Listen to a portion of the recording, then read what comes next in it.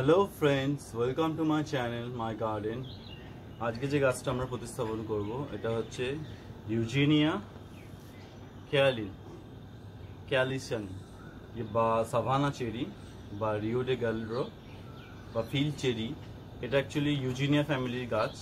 এটা অনেকটা relatively cherry of Rio গ্র্যান্ডের কাছাকাছি গাছ। ফলটা অনেকটা একই রকম হয় বাট ফলটা অনেক বড় হয়। এটা ফল হতে মোটামুটি তিন থেকে চার বছর সময় লাগে, তো আপনাদের ধৈর্য রাখতে হবে। খুব ভালো গাছ এটা একটা।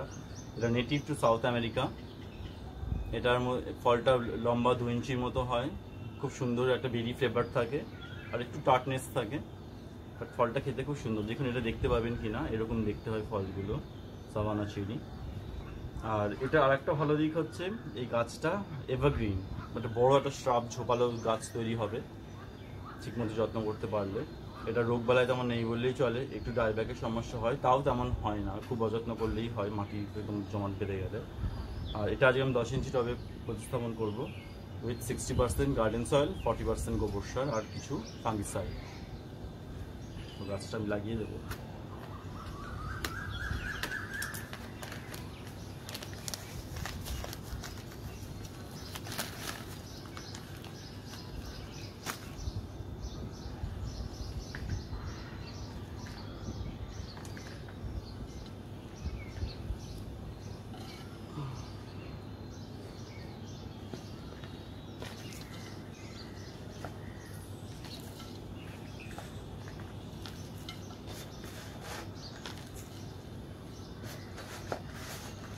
ইউজিনিয়া ফ্যামিলির অনেক গাছ আছে, যেমন Surinam cherry cherry of Rio Grande তারপরে হচ্ছে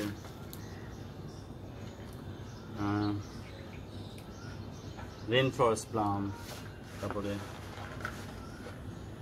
আরও অনেক আছে বার্ড চেরি আছে, তারপরে ইউজিনিয়া ফ্যামিলি বিরাট বড়, বিরাট অনেক চেরি আছে, অনেক অনেক কিছু, অনেক গাছ আছে বাট এটা সব থেকে বড় হয় ইউজি- ইউজিনিয়ার মধ্যে।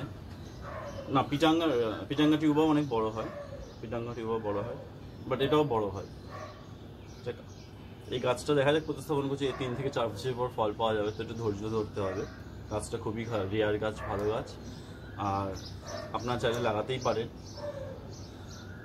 আর এটা তেমন কোনো যত্ন পরিচর্যা নেই। একটু ফাঙ্গিসাইড মাঝে মাঝে ইনসেক্টিসাইড স্প্রে করলেই হবে। নিম কামনে নিম তেল স্প্রে করি, আর একটা ফাঙ্গিসাইড যে কোনো কপার পেস্ট ফাঙ্গিসাইড স্প্রে করি। ব্যাস, আজকের মতো এইটুকুই। আপনার সবাই ভালো থাকবেন, গাছের যত্ন নেবেন, নিজেদের যত্ন নেবেন। Thank you